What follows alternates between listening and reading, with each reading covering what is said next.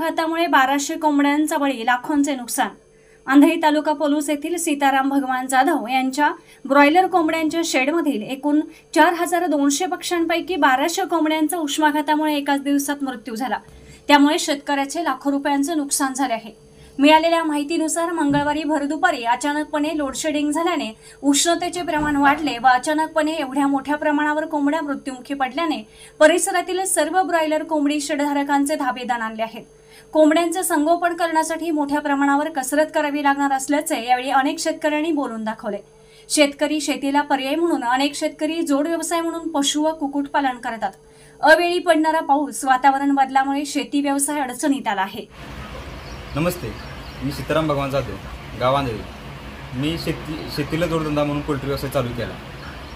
पक्षी भरले. सोमवारी रात्री पाऊस पडल्यामुळे मंगळवारी दुपारचा जास्त उष्माघात वाटत होता.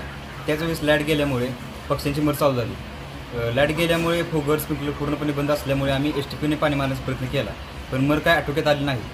मग कंपनीच्या साहेबांना आम्ही फोन करून सांगितलं. कंपनीचे सुपरवायझर वगैरे येऊन त्यांनी सगळी मरती चेक केली. त्यांनी सांगितले ही टोटल मर उष्माघातामुळे झालेली आहे. यामध्ये किती पक्षी यामध्ये चार हजार दोनशे पक्षी पोल्ट्रीत आपले मिळाले. त्यातील बाराशे पक्षी एका दिवशी एकत्र मेले सगळे. अजूनही मर सुरू आहे का?